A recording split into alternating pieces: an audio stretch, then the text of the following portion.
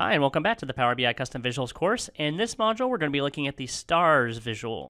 Now, the stars visual is a nice way to be able to show kind of a rating system if you'd like. It also has several other symbols that you can use in here as well. For instance, you can not only use the star, you can also use a dollar sign if you wanted, a heart, thumbs up, smiley, calendar, or even kind of an accessibility wheelchair if you wanted to. So there's actually multiple different types of rating symbols that you can use when you're using the stars visual. One thing I'll mention here is it doesn't really support multiples very well. So if you had, for example, what we're going to show in our demonstration is multiple movies, it doesn't really show multiple movies very well. What you can do is kind of take an average of all those movie ratings if you wanted to, or you can use a slicer to be able to visualize multiple values and kind of toggle back and forth between each of the movies. Now you do have here who the publisher is. Let's go ahead now though and jump into where we can go download the stars visual and then how to get started using it.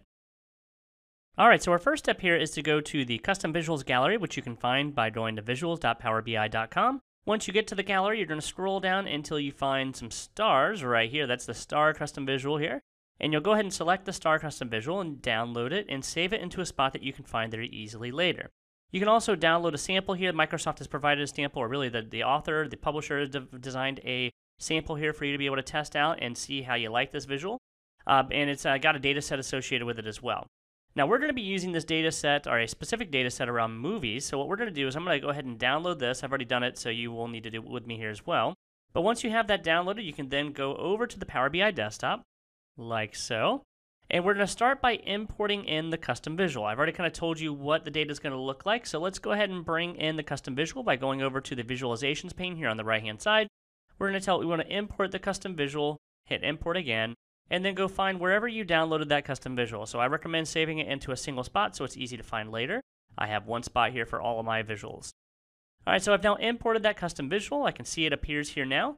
And then my next step here is to import the data. Now we could have imported the data first. I've just chosen to do it second in this example. So we're going to go get our movie ratings data, and I'll do that by going up to the Get Data section here and selecting Excel.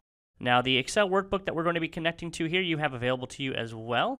We're going to be finding it by going underneath the Power BI Custom Visuals section here. And we're going to go look underneath the data folder and select movie ratings as the spreadsheet or the workbook, I should say, that we're using for this example. So I'll select open. It's then going to connect to that workbook and ask, ask me which one of the spreadsheets, which in this case we only have one spreadsheet, do we want to use. So I'm going to select the ratings spreadsheet and hit load. Now you got a little peek of what the data looked like there. I'll show you again here in a moment so you can see what the data looked like. We're actually going to use the stars visual in two different ways, but just so you can see what the data looks like here, we have movie titles, we have ratings, these are IMDb ratings, and then we have fan ratings from Rotten Tomato. And then I have a top score, meaning the top score that a movie can get as far as fan rating is 100. So these percent these are actually percentage values that you would have out of 100 here. So uh, 50 Shades Darker only got 9% from fans. Not so different than what it had on IMDb. All right, so what we're going to do is I'm going to go back over to the report section, and I'm going to bring in our star visual by selecting it, and we'll make it a little larger here. And we're going to start by first looking at the IMDb ratings, which is the field here that's just called ratings. So I'll go ahead and select ratings and bring that into the value section. And you'll see immediately it's brought in here, and it's actually already visualizing it and showing that we have a value of 144.9.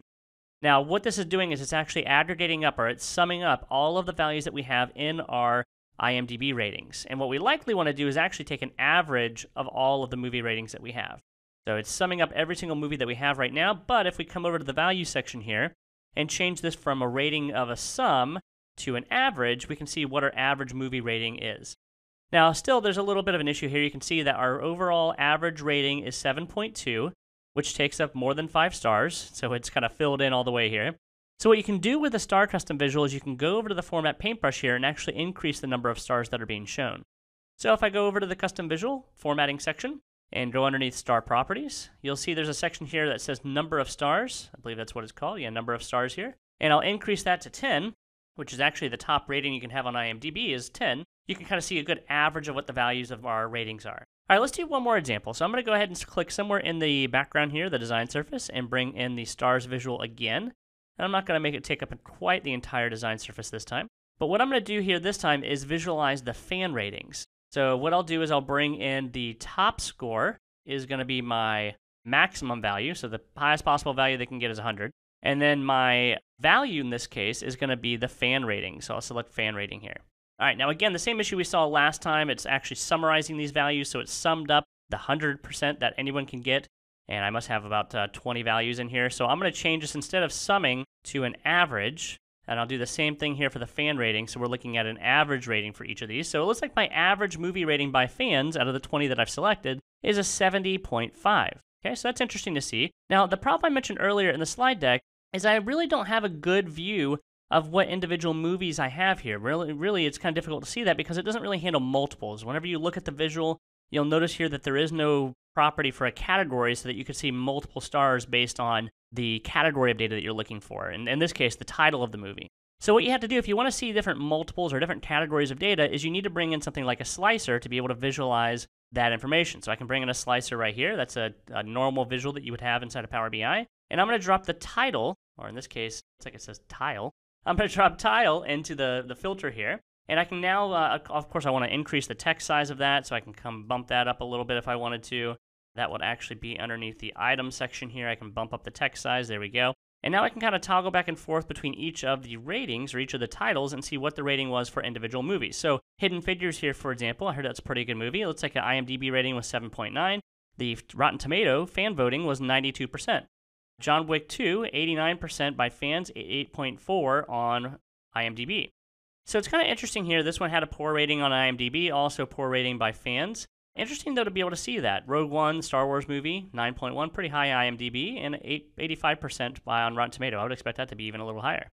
So a nice way to be able to look at and play around with a nice rating type visual. So it's able to visualize ratings information really well. Now, so far we've just been using the star, but you do have a few other ways that you can use this star visual. And you can uh, take a look at that by selecting one of them. So I'm going to select the one on the bottom here, the fan rating. And I'm going to go over to the format paintbrush here. And we're going to go look at some of the properties that we have available here. So the first one section that we have is star properties. And if I expand that, you'll see that you have different types of symbols that you can select. The default here is star, but I could make it into a dollar sign. Kind of interesting. I can make it into a heart. Okay, it's fan voting. Maybe I want it to be a heart. Maybe really because it's fan voting, I'll make it a thumbs up. So I'll turn this into a thumbs up so you, you can see what the fan vote is. It's kind of a typical like symbol there. But you can also have a smiley, a calendar, or an accessibility, which is like a wheelchair here. You can also increase the number of stars. You saw that earlier, so you can bump it up. We bumped this top one up to 10. And you can decide whether or not you want the labels on. So I can turn off the label. You'll see the 85% went away when I turned off the label. I really want that on, so I'm going to leave that back on. You can also change here, says show strobe, or stroke, I should say. And uh, what stroke is, is when you turn it on, it basically outlines the figurehead that you have here. So it put an outline around the little avatar image that we have here. So I'm going to leave that off. No really need for outlining that, but it's kind of a nice touch that you can have. You can also turn on or off the target labels. In this case, I don't really have a target, so if I turn this off, it's not going to do anything. There is no target on this example. I can also turn on or off the minimum and maximum labels that you see. So my minimum label here is a zero, my maximum label here is 100, I can turn on or off those labels if I wanted to. And in this case, I think I probably will because I, am going to assume and know that this is out of 100. So I can know that I got 85% here basically. All right, so let's keep working our way down here. Next, you see star colors. And what the star colors section allows you to do is actually modify the colors that are being used in the star section.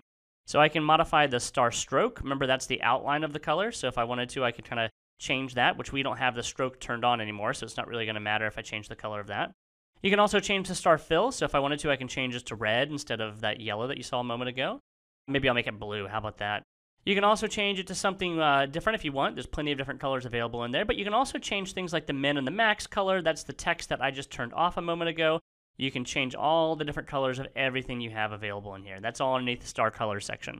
Finally, you'll see underneath the star axis, or the star axis, is if you wanted to actually manually adjust the minimum and maximum that you have. In this case, I had that more data driven. You could modify this by typing in a value. So if I wanted to change the minimum to 10 instead of 0, I can come in here and actually modify it. So I changed my minimum here to 10, and you'll notice it actually adjusted it because it was previously 0. It means it brought it down a little bit. You can also manually adjust the maximum if you wanted to. If you didn't have anything data driven uh, or a column for the maximum, you could kind of pass that in here manually on your own.